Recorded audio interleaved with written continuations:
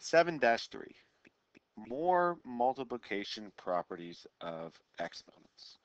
So our objective in this section is to raise a power to a power and to raise a product to a power. And we can use the properties of exponents to simplify a power raised to a power or a product raised to a power. So just like in previous sections, we are going to use the repeated multiplication property to simplify a power raised to a power and see what it looks like. So we start with x to the fifth squared, which means x to the fifth times x to the fifth. And from 7-2, we know that we can take these exponents if they have the same base, which they do, and we can add the exponents together, which would be 5 plus 5 which is really the same thing as 5 times 2. So notice that x to the fifth squared is the same thing as x to the 5 times 2 power.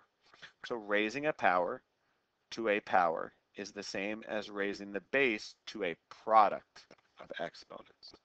And that's going to help us to simplify a power to a power. Okay? So our property is that when we raise a power to a power, we're going to multiply the exponents together. Okay, so if we have a to the m to the n power, that becomes a to the m times n, where a is not zero, and both m and n are rational. Okay, so we're just going to multiply them together. So 5 to the fourth squared becomes 5 to the eighth, m to the 3 to the 5th becomes 15th, and this works with fractional exponents uh, as well. We just have to multiply the fractions together. Okay, so what is the simplified form of n to the 4th to the 7th? So this just becomes n to the 4 times 7, which is going to be n to the 28th power. Okay. Uh, again, works with fractions. Okay, remember to multiply two fractions together. We multiply the top and multiply the bottom. So this becomes x to the 2 thirds times 1 half, which is x to the 2 sixths power. But of course, we never leave a fraction unsimplified, so that would be x to the 1 third power, dividing both by 2. Okay? Let's try some guided problems. So power to a power for all these, we're just going to multiply the exponents together. So this becomes p to the 20th, 5 times 4, and p to the 20th, 4 times 5. Okay? This is p to the 1 8th power, 1 half times 1 quarter. And this is p also to the 1 8th power. So is a to the m times n equal to a to the n times n true for all integers? Yes, because what property? Multiplication is commutative. So it doesn't matter which way I do um, the multiplication to combine the two exponents. We can use order of operations when you simplify an exponential expression. Okay? So that means exponents come before we put two bases together before we put multi before multiplication. So when I do this, I'm going to have the first thing I'm going to do is going to be y to the third. Oh, let's move this down a little bit for a second. Get that out. Move that down. Okay, here we go. y to the third times y to the power to a power. I'm going to multiply these exponents together. So it's going to be negative 10 over 2, which is negative 5, which gives me y to the negative 2, which is the same thing. I don't leave that because it is a negative exponent. It can be simplified more. So this gives me 1 over y to the positive 2. Negative exponents go to the bottom of a fraction. All right, let's try, those guided problems that we slid down here. Okay. Again, these two come first. So that'd be x squared. Uh, that is a negative exponent, which is okay, times x to the negative 24. That gives me x to the negative 22 when I add them together, which is 1 over x to the 22nd power. Okay. Negative 2. 5 thirds times 3 would be w to the fifth power. Add those together, and we get w to the third. Uh, negative times a negative in part C. Negative times a negative gives me a positive, so that's a positive 5 over 2 power. And then s to the 3 over 2. When I add them together, I would get s to the 8 over 2 power, which is 4. Okay, so a lot of simplification there. Uh, hopefully, uh, no problems. Okay. So we can also use repeated multiplication to simplify an expression like 4m to the 1 half all to the third. So that means that I'm going to take everything in the parentheses and multiply it three times, which means the 4 gets multiplied together three times and the m to the 1 half power. So notice that 4 to the third and m to the 3 over 2 are now the simplified form, and I can I can uh, raise 4 to the third power to get 64. The point is, is that everything inside the parentheses got raised to the third power, the 4 and the m to the 1 half. And this leads us to our next property, which is called a product to a power. So to raise a product to a power, raise each factor to the power and multiply. So we have a times b, both to the n power, it turns into a to the n, b to the n, as long as a and b are not zero, and n is a rational number. Okay, and we can see it in the examples, 3x to the fourth turns into 81x to the fourth, and 4b to the 3 over 2 turns into 8b to the 3 over 2. Remember, 4 to the 3 over 2 is the same thing as 2 to the third, which is the same thing as 8 right? We take the square root of 4 and raise it to the third power. Okay? Which expression represents the area of the square? Well, the formula for area of the square is the side of the square squared. Okay? So that means the area is going to be 5x to the third squared, which is 5 squared and x to the third squared, which is 25x power to a power, I multiply. So my answer is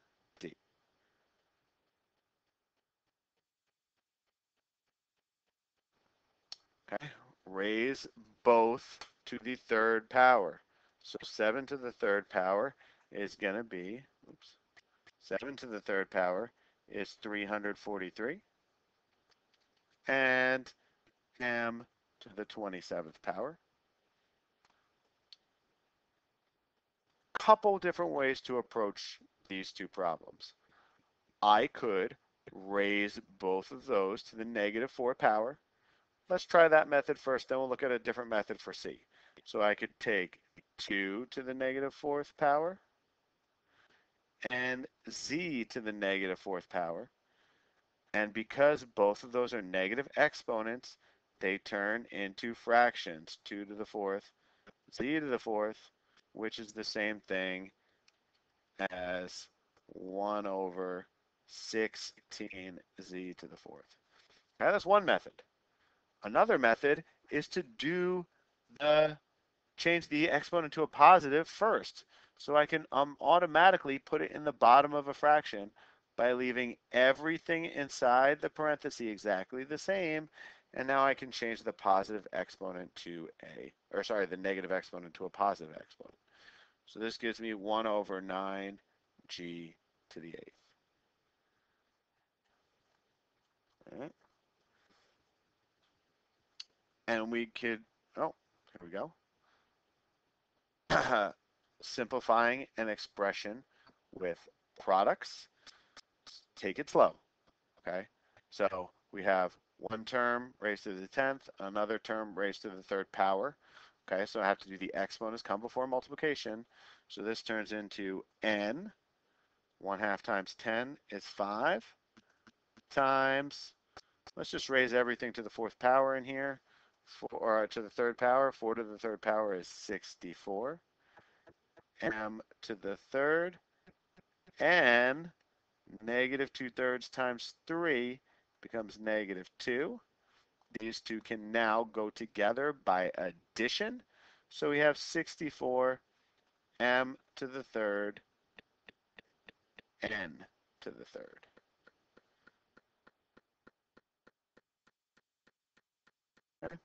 The trick to these is just to take them slow and make sure that you see everything that's going on. Power to a power, I'm going to multiply exponents. Don't forget it's negative because negative times a positive is negative.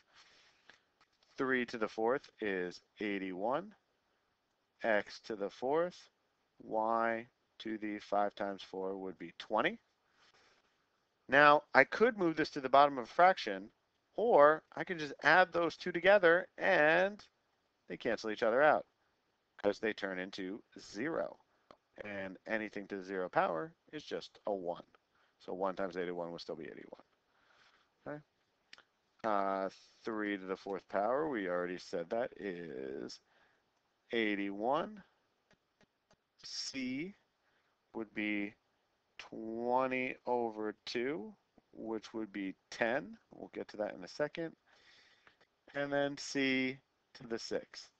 So 81 C to the 10th times C to the 6th, which is 81 C to the 16th.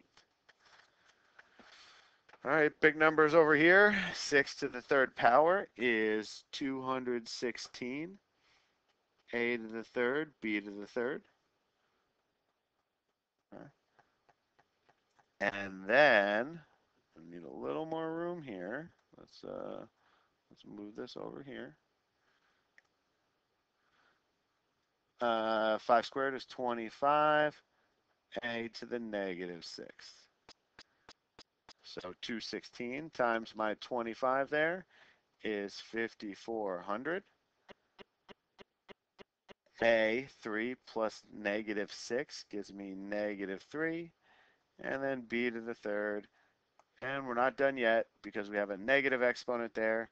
So 5,400 is not a negative exponent. It stays where it is. b to the third is not a negative exponent. But a to the third moves to the bottom of a fraction.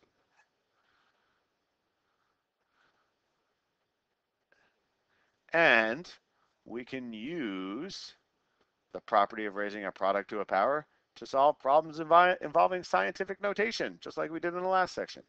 For example, to simplify 3 times uh, 10 to the 8th power, you raise both the 3 and the 10 to the 8th to the second power. So it would be 9 times 10, not 8 squared, because power to a power, you multiply exponents, so it would be 9 times 10 to the 16th. Okay. The expression 1 half, well, let's write this down, gives the kinetic energy in joules. So my expression is going to be 1 half mv squared. Gives the kinetic energy in joules of an object with a mass in kilograms traveling at a speed of v meters per second. So m is in kilograms, v is meters per second. And if you didn't know what a joule is, it is simply a way to uh, a unit of energy, uh, and it's equal to the work done on an object, okay? And its units are kilogram meter squared per second squared. So if V is in meters per second and we square it, and M is in kilograms, we have kilograms meters squared per second squared, which is just a, all right, a joule, okay? Named after James Prescott Joule, an English physicist, in case you were wondering. All right, so what is the kinetic energy of an experimental unmanned jet with a mass of, first one half, 1.3 times 10 to the third kilograms, traveling at a speed of 3.1 times 10 to the third meters per second. Okay? One half is part of the formula. The squared is part of the formula. Okay? So first, I'm going to do 1 half times 1.3 times 3.1 squared. And I get 6.2, let's call it 25, times 10. Now I'm going to add exponents. This one is a 6, and we get three more right there. Okay. One more. Going to use the same formula for our got a problem here. So our formula is 1 half mv squared. So that's 1 half times mass 2.5 times 10 to the fifth. Speed 3 times 10 squared squared. Okay. So we get 1 half times 2.5 times 3 squared, which is 9, which gives me 11.25 times 10 to the, that's a 4, 10 squared squared. Add it to 5, we get 9. However, that number is not in scientific notation, so my answer would be 1.125 times 10 to the 10th power. Okay. So, lesson check, simplify each expression. Power to a power, we multiply exponents. So that would be n to the 18th. This would be b to the negative 21, which would be 1 over b to the 21st power. Remember to raise 3 to the 4th power to get 81a squared when we multiply a half times 4. And here, square the 9 first before, and the x to the 1 half first before we put it together with x to the 10th there.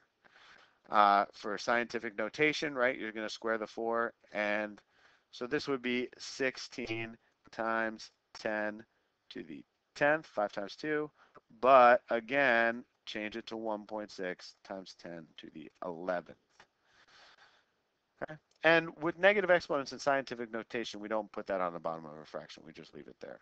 So what's 2 to the 5th? 32 to the 5th is, so this would be 32 times 10 to the uh, negative 15th.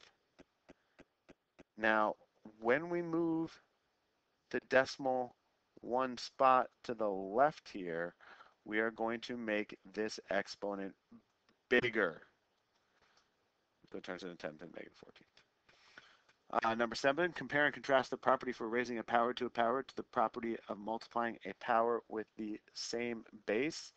Powers with the same base, when you put them together, you add exponents, power to a power, you multiply them one, ooh, one student simplified x to the fifth plus x to the fifth to x to the 10th. Bad. A second student simplified x to the fifth plus x to the fifth to 2x to the fifth. Good. Okay. When we multiply, if this was multiplication, then the first student would be correct. Then we would uh, multiply, then we would add the exponents together. Okay. If we have addition, Okay, those are just like terms that we can just put together. Uh, and I'll leave number nine up to write four different expressions that are equivalent to uh, this expression right here. Well, x squared is one of them. Um, you know, anything that can just reduce uh, that the that can be equal to x squared is going to be equivalent to this.